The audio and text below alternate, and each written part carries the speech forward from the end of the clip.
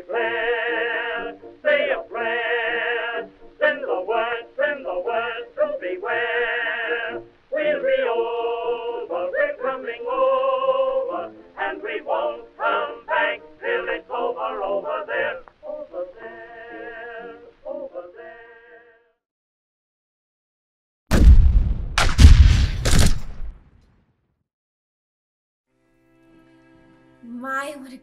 Grand adventure I was about to have.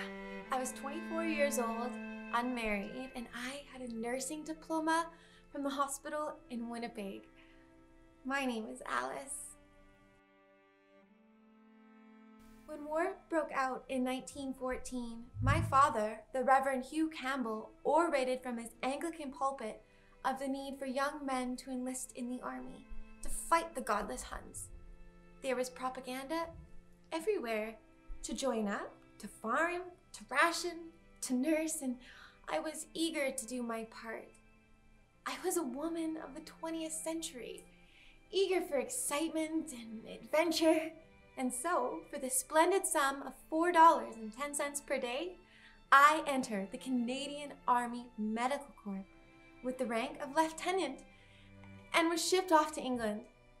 My first hint of the new world that I was entering was on board ship when I saw that we were accompanied across the ocean by armed vessels.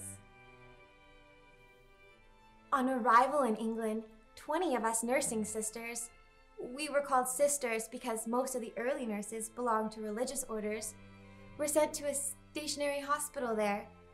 But it soon became clear that we were needed closer to the front at casualty clearing stations. I was sent to the number one Canadian General Hospital in France. We were set up in brown canvas tents which held 70 beds and two operation rooms. The soldiers there, they named us bluebirds because of our blue dresses, our white aprons, and white veils. Our uniforms were very prestigious, but the high collars were very uncomfortable. However, it was Army regulation that they be worn at all times, so wear them we did.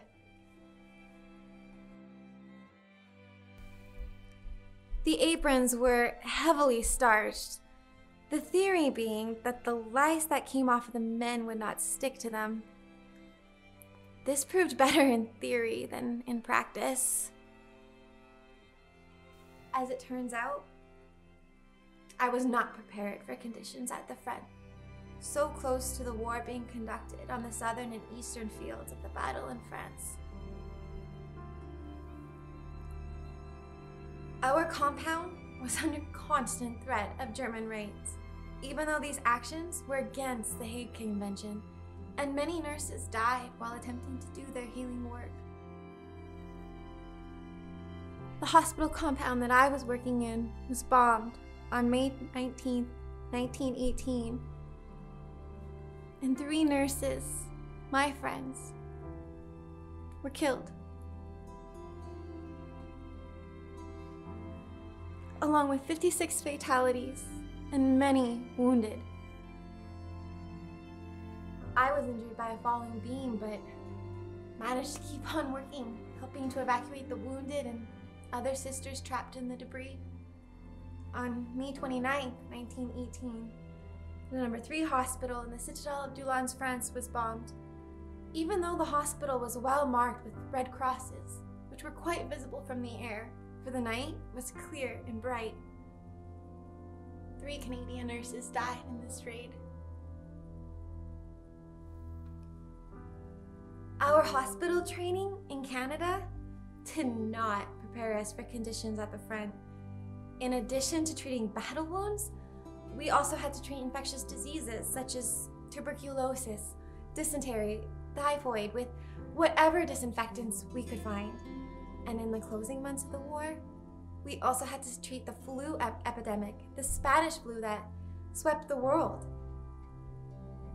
In April 1915, we began to receive casualties from the German use of poisonous gas, and it was impossible to supply the demand for respirators. Ambulance after ambulance and convoy after convoy brought in the wounded, and this went on all night. Bugle would sound and staff would immediately begin to help patients. Those who were able were bathed by the orderlies, given a clean, warm bed, cocoa, bread and butter. And of course, they all wanted cigarettes. Men and officers were wild about smoking. These men, they were so grateful, and they wanted so little. Many had been gassed and burned by liquid fire shells. Some were desperately injured, especially about the eyes. The new gas mask recently provided proved inadequate. The gas penetrated and burned the masks. Wounds caused by bursting shrapnel were the most severe. Ripped and, and tore and penetrated tissue in a horrible manner. I had never seen such awful wounds. The Germans used glass, screws, needlepoint, anything they could find to make a bad wound. There were sometimes 30 to 40 funerals a day in our compound alone. For some men, their nerve had gone and they cried like babies. Others just stared and said nothing at all. They all seemed so young. I have had badly wounded boys of 17, 18, 19. One 17 year old boy had one leg amputated and the other leg, and one arm peppered with shrapnel.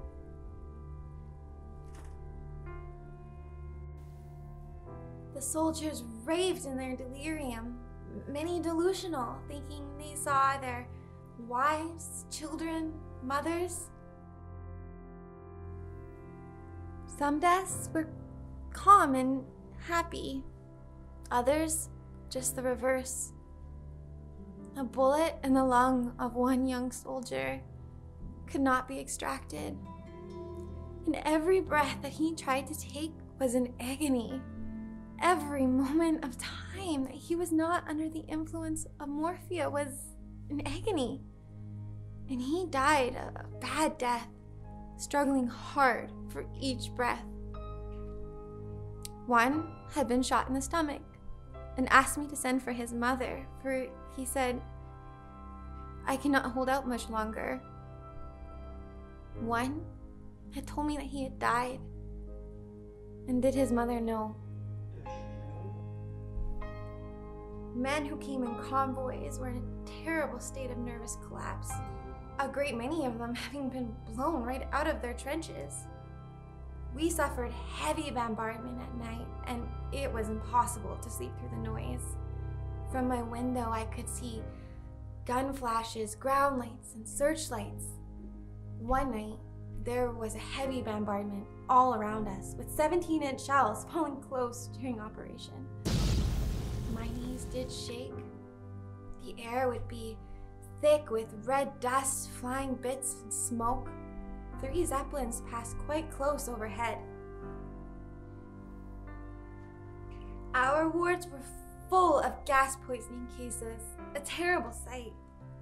The slight ones looked rather like pneumonia. And the bad cases, they were terrible. They were blue and gasping, their lungs full of fluid and not able to cough it up. It was not unusual for six or so men to die in our ward in one day. We have one wing of a lunatic asylum with room to accommodate about 500 patients. The director of this unit one day made us nurses a great offer. We may use the lunatic's bath twice a week for one hour. Now, this may not seem like a very exciting thing to most people, but to us, it was heaven to be able to lay in an entire tub of water. At that point, I had not sat in water deeper than one inch since coming to France. As the war dragged on, our workload became very heavy. There were times when we would do close to 300 operations in 10 days. Some days we had as many as 600 badly wounded men through our hospital in one day. There were days when we would go on duty at 9:30 a.m. and stay till 9 p.m. with no time for meals. There would be amputations of arms and legs and insides cut and packed in. Some days we just lost track of the cases that we treated. In one six day period, we had over 2,000 wounded to attend to. Some men were so blown to bits they came in just to die. Others go straight to the theater for amputation of limbs or to have their insides, which had been blown to bits, replaced and made a little bit more comfortable for the few hours that they had left to them. Our wards were full of groans and, pleadings. And sometimes we didn't know where to start for the hundreds of things that needed to be done at once. We were all tired in, in mind and as well as in body. We heard that Ypres was ruined and that heaps of dead French, English, and Belgium lay all over town. The road between our line and Ypres was strewn with dead horses and smashed carts.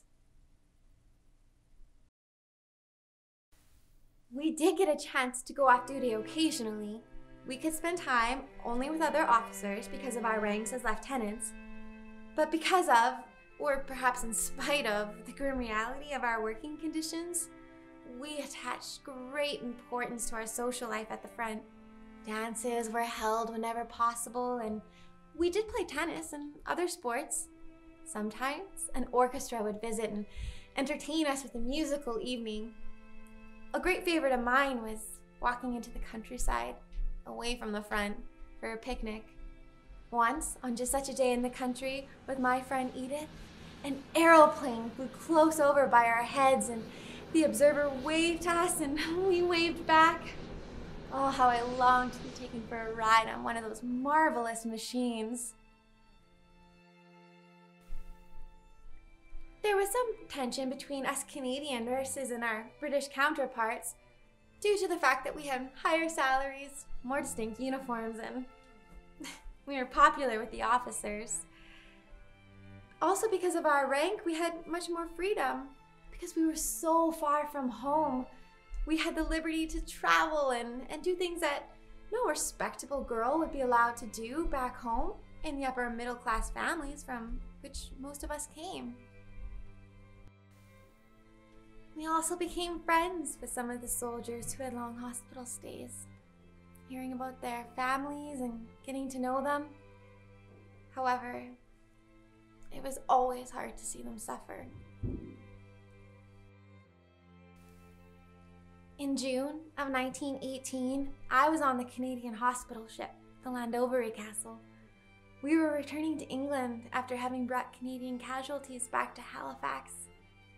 This assignment was considered a welcome break from the heavy nursing in France, and even though we were aware of the constant threat of German U boats, we felt relaxed and refreshed and would be able to continue our duties once again at the front.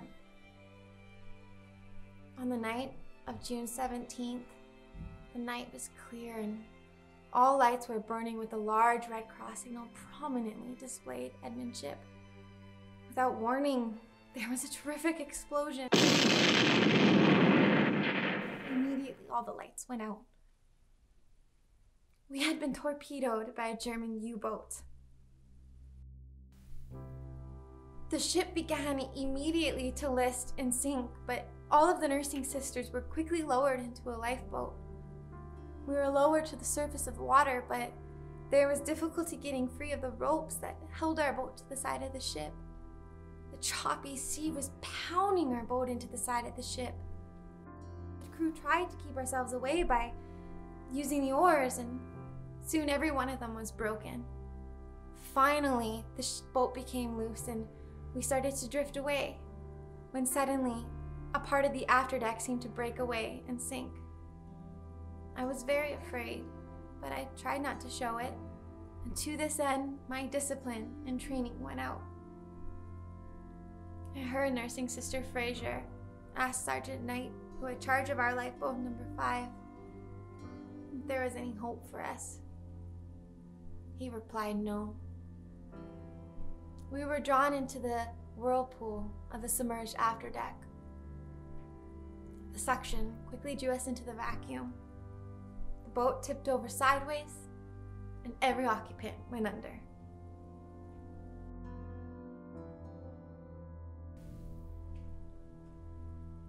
My mother in Winnipeg received all of the medals that were due to me the 1914 to 1915 Star, the British War Medal, the Victory Medal, and the Royal Red Cross Medal. This medal was given for exceptional service, services in military nursing, and on the reverse is imprinted faith, hope, and charity. These tokens from an appreciative nation did give some consolation to my family for my loss.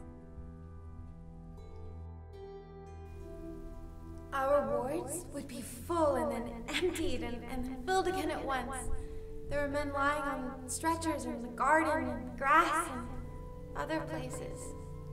The cases inside were very bad, and many soldiers died. They just kept dying all night. We would evacuate at 2 a.m. and fill up again. And at times, I would have close to 200 men in a ward built for 60. When we did have spare time, we often wrote letters for the men who were incapacitated. Many times, I wrote down the dying statements of men, transmitting them to their relatives through the Red Cross organization.